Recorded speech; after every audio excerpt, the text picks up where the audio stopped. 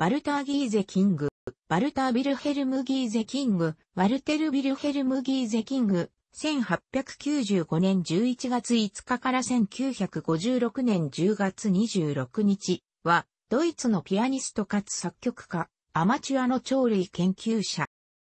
1895年11月、ドイツ人の両親のもと、フランスのリヨンに生まれた。初等教育は、私はもう読み書きができるのだから学校には行かないと言って受けず、幼少時は家で百科事典と楽譜を読み漁る毎日だった。蝶の趣味はこの頃に覚える。両親が心配して、ハノーファー音楽院を紹介し入学させた。そこでシノカール・ライマーを紹介され、ドビュッシーなどの当時の現代音楽すら新刊を持ち込んでレッスンする姿勢に彼は大きな感銘を受けた。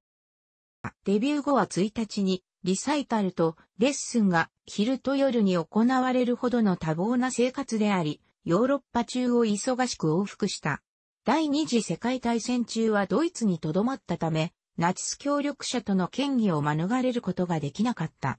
このため、連合国側によって疑いが晴らされるまで多くの演奏会がキャンセルされた。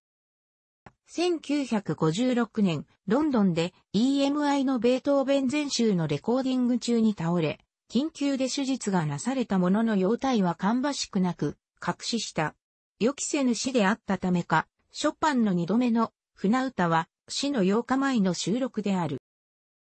自伝、かくて我はピアニストとなれり、ソーベルダイクピアニストは1963年に出版された。墓は彼の生前の家があったドイツのビースバーデンにあり、同地に彼の長女、ユタとその夫が暮らしている。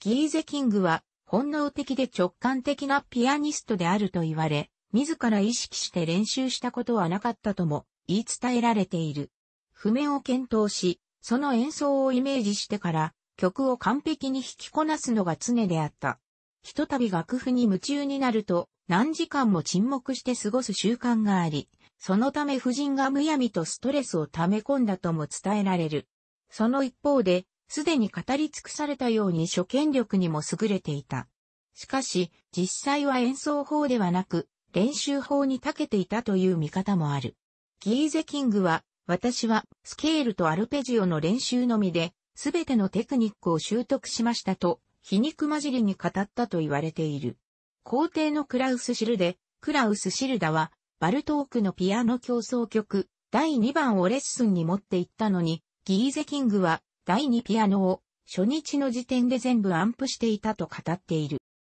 レパートリーは、バッハやベートーベンなど、古典的なものから、よりモダンなブゾーニやシェンベルクから、ゴッフレド・ペトラッシまでと、幅広いものであった。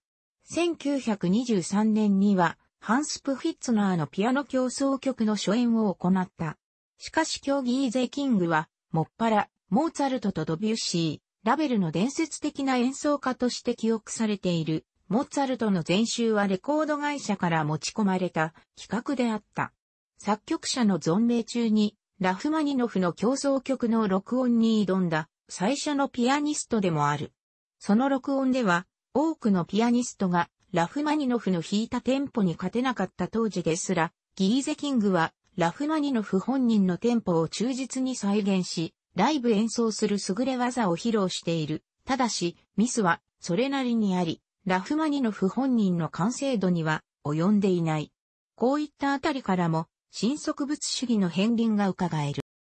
ドビュッシーやラベルのピアノ曲は、大抵運指やペダルの指定がなく、これらは演奏者の判断に委ねられている。ことにドビュッシーでは、ともすれば、曲の見通しが曖昧無ことなりがちである。これに対して、ギーゼキングの演奏は、曲の分析力が明晰で、当時の拙いアコースティック録音にもかかわらず、ニュアンスに富んだ繊細な音色と多彩な表情の変化に満ちている。その上、演奏技巧に欠点がない。つまり、曲の解釈において、迷いがない。例えば、ドビュッシーの前奏曲第一集のパックの踊りは、これほどの速さで押し切っているにもかかわらず、全くテンポやフレージングが乱れない。こうした特徴のために、学習者の模範として使われてきただけでなく、後世のピアニストからは、ドビュッシーやラベル演奏の完成者として、到達目標として仰がれたのである。カール・ライマーとの共著により、ギーゼキングは2冊のピアノ奏法論を上司した。ピアノ奏法完成への早道、1932年と、ピアノ奏法の諸問題リズム、強弱、ペダルなど、1938年である。ギーゼキングの録音態度は意外なほどいい加減で、完璧に近いものから、ウォーミングアップ程度のものまで様々である。死去から半世紀を迎えた今なお、ギーゼキングは伝説のピアニストとして語り継がれている。ギーゼキングの CD は同じ内容のディスクを何度も回を重ねて発売されているが、EMI、これは貴重な文化財保存という側面を持っていると言える。ペダル操作が比類なく、完璧なまでの作品の記憶力と、細部にわたって楽譜の忠実な再現、楽曲構造に対する明快な洞察力などで、同時代のピアニストの中でも卓越した存在だった。それでも、彼の全盛期は SP 時代だと伝えられる。LP 時代に入ってからのベートーベン全集やバッハの WTC では一発取りに近い不安定なテイクも少なくない。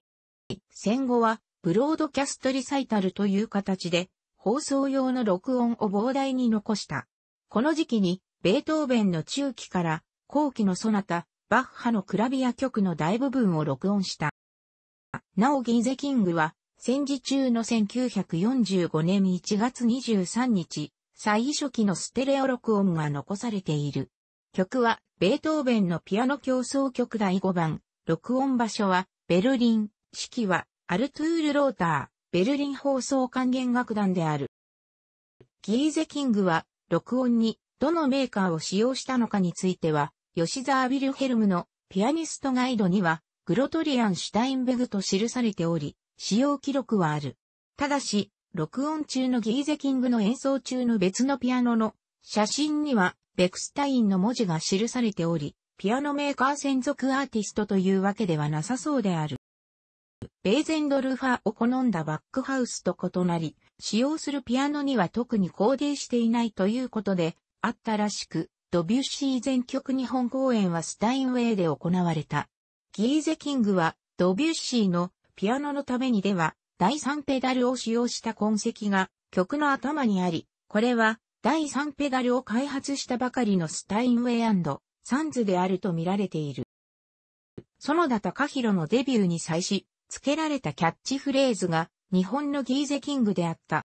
彼の伝記によると、室内楽曲を8曲、ピアノ曲を10曲程度作成したとのことである。楽譜はドイツ最大の音楽出版社であるから一時期出版されていたが、現在は絶版状態である。シュトラウスのセレナーゲアップ17ナンバー2のピアノ編曲は録音が残された。